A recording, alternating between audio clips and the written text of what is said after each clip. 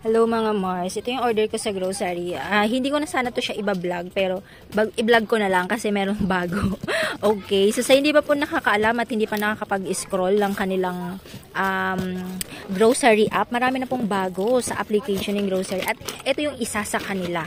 Ayan, kung nakita nyo, bumili ako ng 1 dozen. Nakalagay dito, 12.50 lang. Kasi ang puhunan nito ay 11 11.10 cents lang yata sa Oral-B. Siyempre, konti lang tubo natin kung bebenta natin ng 12.50, 'di ba? Pwede natin ibenta ng 15 pesos or 20 pesos or 18 pesos depende sa location kasi yan. Ganun. So ito yung iba kong in-order. In-order. Tide na bawas na kasi may bumili ng tigda tigi isang dosena yung ganitong flavor, ganitong flavor. Itong original fresh. At itong mayroong downy. Tapos speed blue at saka champion na white. Ayan. Dito naman sa kabila ay yan, Piatos, Nova. At dalawang dosena itong British White Twin.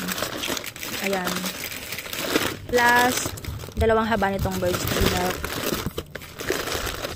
Frutos, ayan, tigda dalawa. Dalawa rin ito. Tsaka, tsaka Alaska Ibap na maliit lang. Tapos, brown single.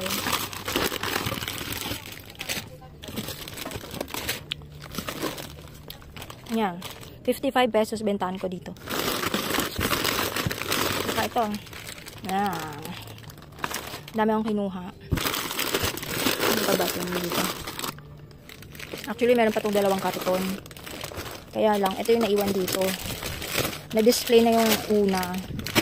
Dito naman ay sigarilyo. Ayan. Malboro, tsaka Chesterfield, isang rin. Flex ko yung pusa namin yan. Picturean ko nga.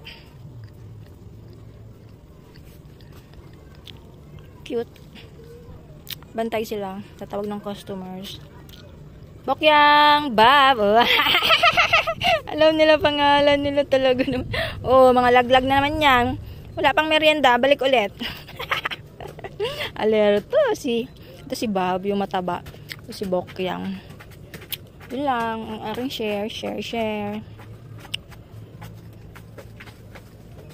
Meron, meron akong, meron tong Gatsby. Tsaka, um, ano yung tender care na pulbo. Kaya lang na-display na kasi. Lang, 'di ba? Level up si grocer. Level up, level up. Tapos sa susunod meron na yung National Bookstore. Hindi lang pa available sa lahat ng uh, areas. Yan, so abang-abang. Cute, no? Hmm? The next day, tomorrow.